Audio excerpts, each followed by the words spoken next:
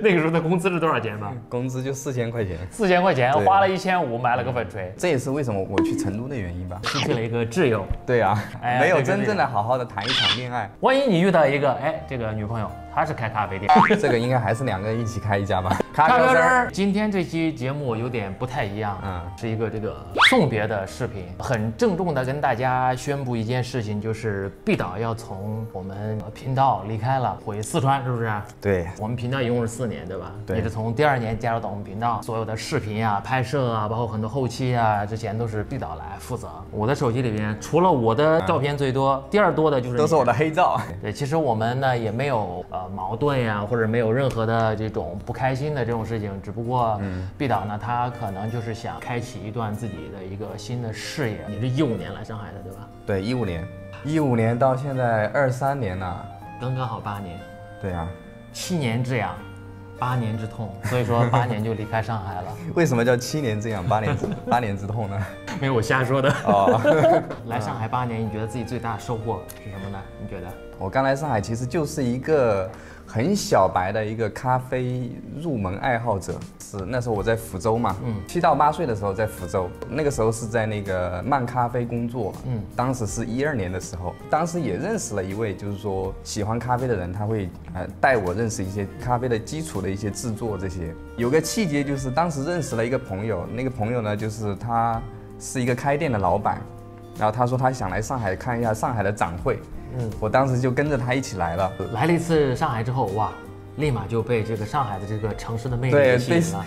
被上海这个魔力给吸引了，哎，然后当时就觉得上海这个城市能一下子聚集这么多有魅力的人在一起，我觉得就就很神奇。嗯嗯，所以说当时就被上海给吸引到了。对。哇，这一晃八年了哈。对，其实刚来刚来前两年的时候，嗯、一开始还是很迷茫的，一开始就是面试了好几家咖啡店，嗯嗯，没有一个经验和阅历，他会认为你好像对这个行业不是很清晰，所以当时还是很迷茫的。嗯，这一路都已经走过来了，会更清晰自己想要什么样的生活状态。所以说就是当毕导说他想要回成都做一些自己喜欢的事情的时候，我当时还觉得蛮欣慰的，说明他自己也就是想开了，成熟了。但是你也失去了对，伙伴失去，了失去了一个挚友。对啊。其实其实没有什么遗憾的，来上海，真的假的？没有遗憾。我觉得来上海最大的遗憾就是可能没有好好的去认识到一位女孩子吧，没有真正的好好的谈一场恋爱，因为上海这个节奏太快了，八年的遗憾就是没有谈恋爱。谈过两段，哎，八年谈了两段，还这个，就谈了两段，然后但是两段这两段就一个就不到半年，然后一个就不到两个月，嗯，就这样的。不是那种刻骨铭心的，对吧？对的，对的。这是已经明示了啊，这不是暗示啊。所以说回到成都有这个成都的这个小姐姐瑶妹儿嗯，主动这个发发私信嘛，啊是不是？回到成都把这个遗憾给弥补一下。我感觉就是在上海的话，呃，只要不工作，他就会产生过多的焦虑，焦虑感，对吧？都会焦虑，对，确实是会焦虑。对，所以说在上海就感觉是停不下来。呃，回成都或许会给我一种新的改变，选择做这个尝试也是想了很久，呃或许会更好。我们面对着一些变化的时候，心里边其实是会有一些这个琢磨不定，然后不安全的这种感觉的，对不对？对你想嘛，在上海已经待了八年了，突然要去另外一个新的城市，这是一个非常重大的改变，你心里边是会有这种很复杂的情绪以及这种不安全感。就是我是觉得要为这一个不确定性去去承担自己吧，它也不代表就是说，呃，曾经拥有的就失去了。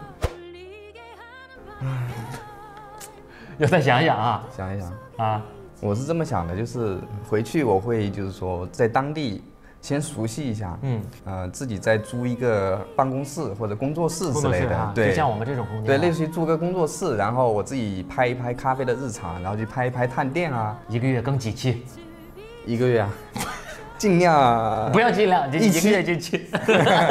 看你让他落实到这个一个月做几期的时候，他这个嗯，再犹豫一下，保证一下嘛。呃，我觉得就是说一周一期的话还是有可能，有时候还会根据自己的心情去调整，心情好了多更一些，对心情不好了就不更，估，咕咕咕。不会咕的。如果估太多的话，那那就没必要去做这个选择了，我觉得。很期待毕导的这个新的视频了，是不是啊？这个大家大家伙一起监督一下毕导，让他别估嘛，好不好？反正你这个新频道已经有了嘛。然后后期还可以，比如说在成都，我慢慢去规划一下，然后可能要开一家店。看来毕导的对于这个两年到三年的这样的一个规划，嗯，是已经有一个雏形了。在这个过程中可能会遇到很多坎坷啊什么的。万一你遇到一个哎，这个女朋友她是开咖啡店的，那你们你这个目标不是一下子就达成了？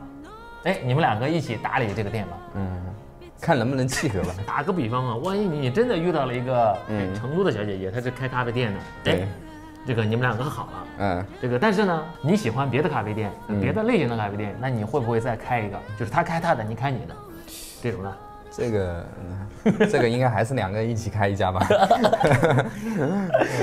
这样子就没有意义了。他开他的，我开我的，两个人都忙自己的事业了。两个人还是劲儿要往一处使，一处使。呃，这个这个成都的有没有这个开店的小姐姐，在一下咱们毕导，在一下。但是现在成都其实也是这个城市发展的也都蛮好的。成都有点有点类似于上海，其实。哎，对，很跟上海我觉得蛮接近的。这也是为什么我去成都的原因吧。嗯。呃，因为我家在四川嘛，自己在成都弄一个房子可能会更方便一点。嗯，对，就不会说就是说我在这边几十年了，然后不回去，就不顾家人这样子。对，这个有没有去这个自己第一年工作的地方啊？离开之前拍个照啊，留个念呀，是啥的？已经都变了。我当时在咖啡店不会英语，然后点单都不知道怎么点。然后一些基础的菜单单词不会，天天查那个词典，看到的所有的一切是我们我都会去，就是说去查他那个，然后到后面还是有一些瓶颈，所以说后来这个哎去这个去英孚学了学英语。对的，学了这两年英语是吧？嗯，花了四万块钱，反正工资就几千块钱，花了四万块钱。你看毕导还是一个非常愿意投资自己的人。那你说这四万块钱是不是很值吗？还是很值的，真的是非常值的。学一门语言就类似于学那门语言的那个文化了，打开自己自己的世界，也能看到很多东西。哇，毕导这句话真的是精髓。对，学语言不单单是语言，要学习文化。毕导这个。粉锤，你看这个粉锤，这是你什么时候买的？有七年了吧？弹幕猜一下这个粉锤多少钱？啊，我不知道你们有没有猜对这个多少钱？当时买的一千五，他愿意花一千五百块钱买一个粉锤。作为一个咖啡师来说，当时也是很值得投入的一笔，是吧？嗯，对，你想嘛，我们自己身边的物件，超过五年的应该都很少吧？当时花了半个月的钱，那个时候的工资是多少钱呢？工资就四千块钱，四千块钱花了一千五买了个粉锤，可想而知我是对咖啡有多么的热爱。当时对，所以说这个粉锤，你这个你是要留在这边呢，还是要带回成都去呢？这个。留给我们好不好？对，这个肯定要带回去。你留到这边嘛，我没事拍拍视频也能用的。你不说我还没想起来，我这个肯定要带回去的。早知道我这个不拿出来了。以后给自己的这个嗯儿子孙子传家宝，给自己的儿孙。这是老爹当时这个一千五买的。呃，等到成都的一个新的工作室里边，可以把它。就是坐在门把手里边，坐坐门把手有点贵，坐门把手有点贵，对对对，还是不舍得，对不舍得，还是做咖啡吧，用它吧，把它用到最实际的那个呃事情上面。所以来上海八年，嗯，就是每个阶段都会有有不同的成长。对，做做咖啡师的时候有自己的成长，从咖啡师到店长的这部分也是有成长，对吧？对，从店长再出来，我们一起来，哎，做这个工作室也是有自己的成长。如果之后你回到成都自己去做一些事情，自己去。去承担所有一切东西的时候，其实那个成长就又不一样，就是又是另外一个阶段。对，就是一呃处理一些事情，可能就不会那么的被动了。人生没有白走的路，每一步都算数。这个毕导突然又来了一句这个心灵鸡汤。毕导在我们频道的这个三年啊，真的也是成长了非常多，默默的付出了非常多。嗯，然后最后大家还是这个欢送一下吧。对，欢送一下毕导。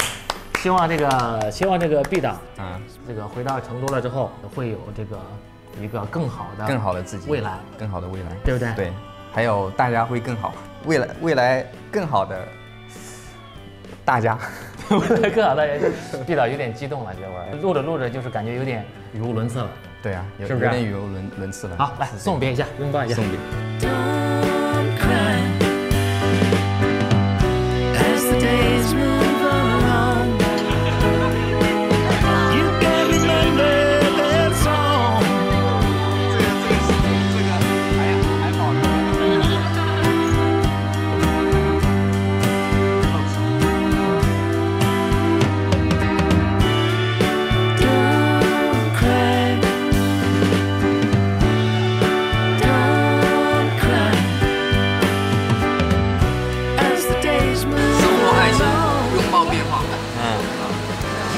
就是还是比较符合你的期待的，对不对？对，比较符合我的现状。